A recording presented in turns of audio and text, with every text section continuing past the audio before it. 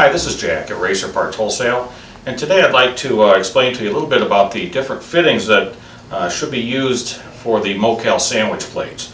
Uh, there's been some confusion in the past, and uh, people have used the NPT style fitting, uh, which is a tapered thread um, for the for the Mocal uh, sandwich plate. Actually, that is the incorrect fitting to use, as these have a half-inch BSP, which is a straight cut thread. And what you really need to use are this fitting here. It's a uh, an anodized black aluminum fitting, where the, it's a half-inch straight cut fitting, and there's a Dowty seal, which is a sealing washer that goes on it. And that in turn is then just screwed into the, to the sandwich plate as normal. And it seats on the sealing washer, which then seals it.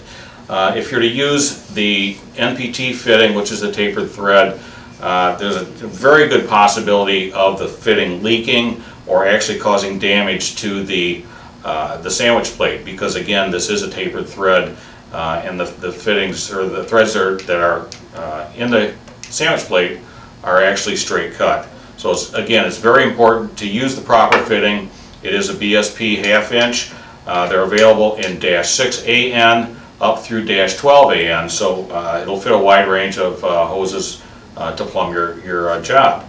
So again, please use the right fitting, save yourself uh, some grief going down the road, and appreciate your time, and thanks for watching.